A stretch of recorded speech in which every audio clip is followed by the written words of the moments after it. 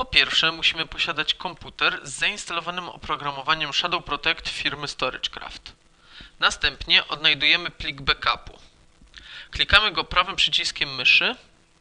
Z menu kontekstowego wybieramy opcję montowania Quick Mount lub przyciskamy literę Q. Po wykonaniu tej czynności plik backupu zostanie automatycznie zamontowany pod kolejną wolną literą dysku, a jego zawartość zostanie wyświetlona na ekranie. Gdy plik backupu jest już zamontowany, możemy wyszukiwać i przeglądać zawartość backupu. Aby przywrócić interesujący nas plik czy folder, kopiujemy go z zamontowanego dysku na dysk lokalny. Po zakończeniu pracy z backupem należy odmontować obraz dysku. W tym celu klikamy go prawym przyciskiem myszy i z widocznego menu wybieramy opcję odmontowania Quick Dismount.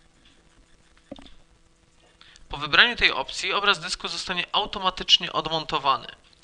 Przywrócone w ten sposób pliki znajdują się już na naszym dysku twardym, więc możemy je otwierać, edytować i zapisywać dokonane w nich zmiany.